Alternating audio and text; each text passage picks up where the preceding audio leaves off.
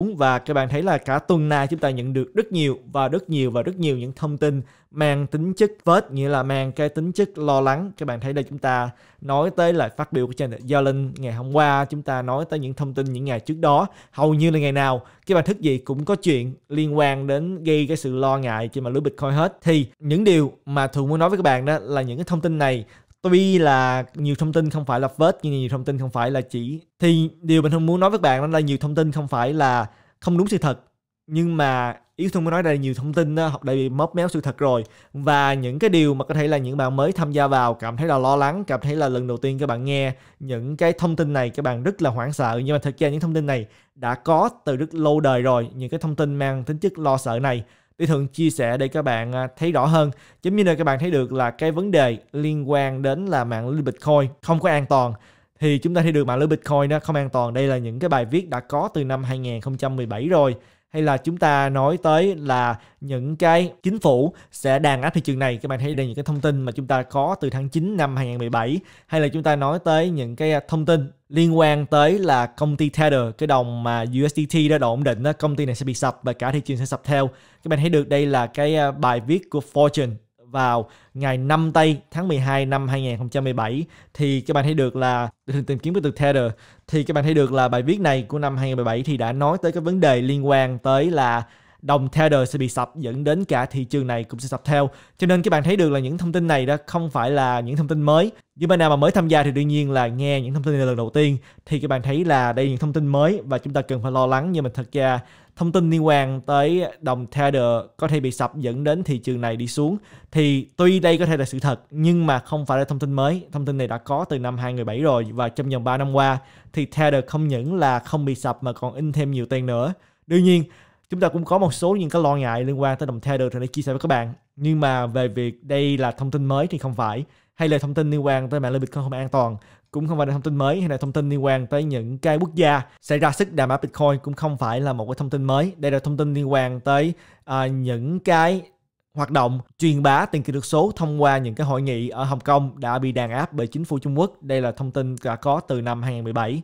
Và cũng sẽ những thông tin này đập đi đập lại trong những đợt tới đây. Và chúng ta thấy được là ngày hôm nay thì Bitcoin xuống 31% thì ngày 22 tây tháng 12 năm 2017 thì các bạn cũng đã thấy được là Bitcoin cũng đi xuống 30% trong như một ngày. Cho nên chúng ta thấy được là Bitcoin crypto đi xuống cái phần trăm như vậy không phải là một điều gì gọi là uh, quá hiếm hoi. Chúng ta đã thấy rất nhiều lần như thường đã chia sẻ về những đợt đi xuống giá trước đây cho nên những bạn nào mà lần đầu tiên chứng kiến Bitcoin đi xuống 31% thì thường cũng chúc mừng các bạn tại vì đây là lần đầu tiên à, các bạn đã chứng kiến được Bitcoin trong đợt tăng trưởng thì có những đợt điều chỉnh giá như thế nào. Và đương nhiên đã rất lâu Thường không có làm những cái video để mà chứng ngàn mọi người tại vì không phải là trong vòng 3 năm qua từ năm 2018, 2019 cho đến năm ngoái không phải là thị trường không có những đợt điều chỉnh, thị trường có rất nhiều những đợt điều chỉnh xuống 50%, à, thậm chí là xuống tới 60 70%. Các bạn thấy được là Bitcoin từ 14.000 đô mà xuống chỉ còn có 3.000 đô năm ngoái, năm 2020.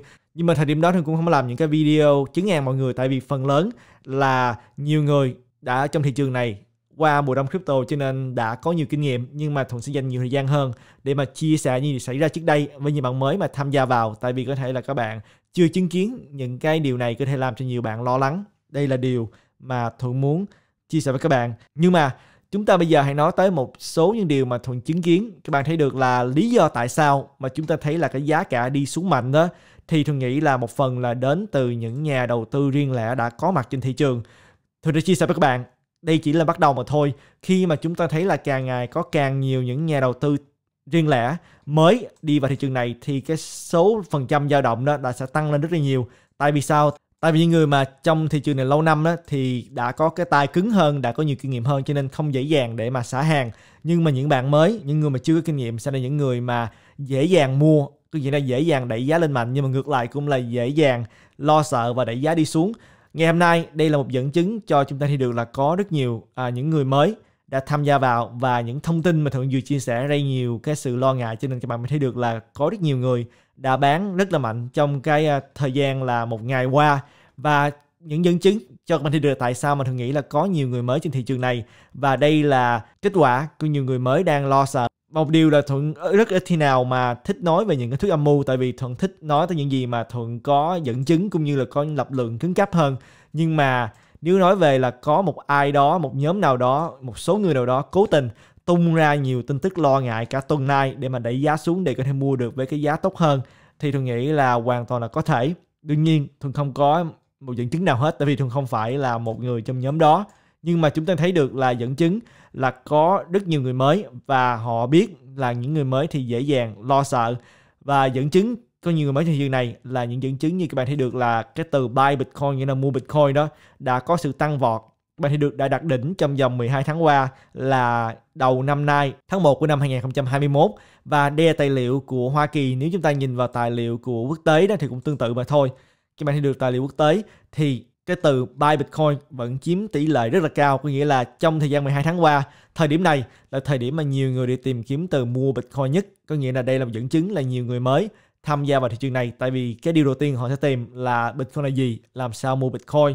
Và chúng ta nhìn vào cái tài liệu trong vòng 5 năm qua, thì trong vòng 5 năm qua, tính theo cái tài liệu của Hoa Kỳ, thì cái số lượng người mà tìm kiếm từ mua Bitcoin đó đã chiếm cái tỷ lệ lên tới là các bạn thấy là gần như là phân nửa của năm 2017 cái đỉnh cao này là cái sự hứng thú của những nhà đầu tư thông thường, đã lên tới 100 điểm và bây giờ là khoảng phân nửa mà thôi. Và chúng ta nhìn vào tài liệu này quốc tế cũng tương tự. Tuy đây các bạn thấy được có nhiều người mới hứng thú với thị trường này, nhưng mà cái số lượng người hứng thú đó thì không bằng năm 2017 chúng ta vẫn còn một đoạn đường để mà đi, có nghĩa là chúng ta vẫn còn rất nhiều người chưa có hứng thú với thị trường này. Cho nên cái số lượng người mới cũng sẽ tiếp tục và tiếp tục tham gia vào, nhất là khi mà giá cả lần này hồi phục lại và tiếp tục tăng trưởng.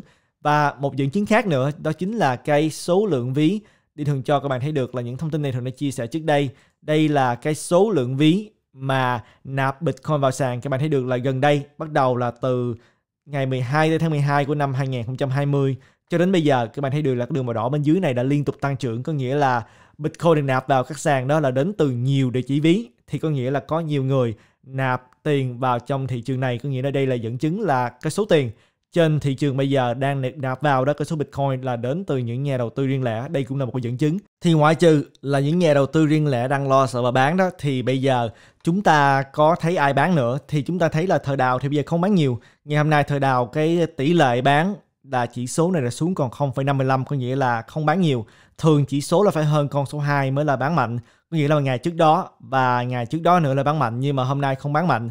Thì đây là cái dấu hiệu là những thời đào nghĩ là thị trường đang yếu. Khi mà thị trường yếu thời đào không thích bán, tại vì khi mà những thời đào mà xả hàng, lúc mà thị trường yếu thì càng xả giá sẽ càng đi xuống và họ đào để kiếm lợi nhuận, cho nên họ không muốn thấy giá cả BTC đi xuống. Đây là cái tình hình là bây giờ thời đào không có bán nhiều và chúng ta nhìn vào một số những cái thông tin khác như là các bạn thấy được là cái số lượng Bitcoin được nạp và và rút ra. Ngày hôm nay thì hầu như là cái số lượng Bitcoin được nạp và rút ra đã gần như bằng nhau, cho nên các bạn mới thấy được là cái đường này hầu như là đi hàng ngang. Không giống như là cái ngày trước đó. Ngày trước đó thì các bạn thấy được là có nhiều Bitcoin nạp vào hơn là rút ra. Và cái ngày trước đó nữa, có nghĩa là ngày 19 tây thì có nhiều Bitcoin rút ra hơn là nạp vào. Ngày hôm nay thì không có sự thay đổi, nhưng mà một cái điều khác thường lưu ý đó chính là chúng ta thấy được là tuy là giá cả đi xuống đi thùng refresh trang này lại để các bạn thấy rõ hơn. Đây là bao nhiêu đồng Ethereum được nạp lên trên sàn và bao nhiêu đồng rút ra thì các bạn thấy được là giá đi xuống từ hôm qua tới bây giờ. Nhưng mà các bạn thấy đi cái số lượng Ethereum được rút ra khỏi sàn vẫn liên tục được rút ra có nghĩa là chúng ta thấy được là vẫn còn có rất nhiều người thu mua Ethereum. Và Ethereum bây giờ vẫn là trên 1.100 đô. Cho nên các bạn thấy được là Ethereum là một điều rất là đáng lưu ý, vẫn còn rất nhiều người thu mua Ethereum và đem ra khỏi sàn. Cho nên giá đi xuống, nhưng mà Ethereum tiếp tục mất đi trên sàn. Đây không phải là điều mà chúng ta thấy về Bitcoin. Và các bạn thấy là chúng ta vẫn tiếp tục nhận được thông tin là Grayscale, Công ty Grayscale, cái đường mà đỏ này là bao nhiêu Bitcoin họ thu mua thì họ vẫn tiếp tục thu mua và bây giờ các bạn thấy được là họ vẫn thu mua rất là nhiều Bitcoin. Cho nên những gì mà chúng ta nói tới là tại sao Bitcoin lúc mà Thuận chia sẻ là Bitcoin là 15.000, 20.000 thì những gì mà Thuận chia sẻ tại sao Bitcoin sẽ tiếp tục tăng trưởng mạnh. Những điều đó vẫn tiếp tục diễn ra ngày hôm nay, không có gì khác biệt hết. Và các bạn thấy được là giá cả có sự điều chỉnh là do một số những yếu tố khác chứ không phải là liên quan trực tiếp đối với cái căn bản của Bitcoin là gì. Và những nhà đầu tư bây giờ thì vẫn rất hứng thú với lời Bitcoin. Tôi đã chia sẻ nhiều video trong cái tuần này liên quan đến những nhà đầu tư lớn thì vẫn tiếp tục thu mua Bitcoin, vẫn tiếp tục tiến tới để mà chấp nhận Bitcoin cho nên những điều đó không thay đổi gì hết chỉ có là giá cả điều chỉnh đó chính là do người mua và người bán trên sàn và những cái thông tin gây cái sự lo ngại mà thôi. Ethereum thì công ty Grayscale không có thu mua à, nhiều hơn từ lúc là ngày 8 tây. Nhưng mà Ethereum này các bạn thấy được là các bạn cũng đang nhớ là công ty Grayscale cho đến bây giờ thì vẫn chưa có chấp nhận khách hàng mới có thể là tại vì họ cũng không có thể nào mà mua được Ethereum với cái giá hợp lý ở trên sàn OTC tại vì sao tại vì có thể là bản thân công ty Grayscale cũng không có kiếm được một cái nguồn cung Ethereum mà có cái giá hợp lý. Tại vì bây giờ Ethereum ngày càng mất đi trên những sàn giao dịch, thì có thể là trên sàn OTC cũng vậy mà thôi, cái sàn mà thỏa thuận trong ngoài đó. Cho nên, khi nào mà họ chấp nhận thêm khách hàng vào cái quỹ Ethereum, thì lúc đó chúng ta mới thấy được là cái đường màu đỏ này sẽ tăng lên. Đây là cái tài liệu liên quan tới Ethereum.